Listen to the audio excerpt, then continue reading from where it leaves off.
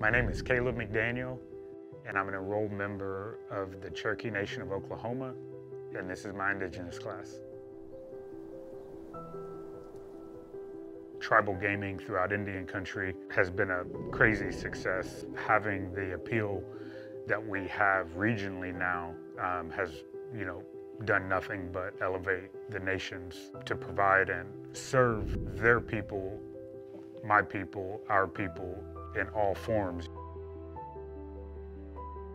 You've got to figure out a way where you can be remembered in a short time frame. The amount of people out here that are constantly being pitched product, you've got to stand out in the short time that you have their attention. The more uncomfortable you make yourself uh, in these type of business settings and stand out, it's going to drive attention, which is going to drive your opportunities into meeting people, creating a larger network for yourself. My name is Caleb McDaniel, and this is my Indigenous class.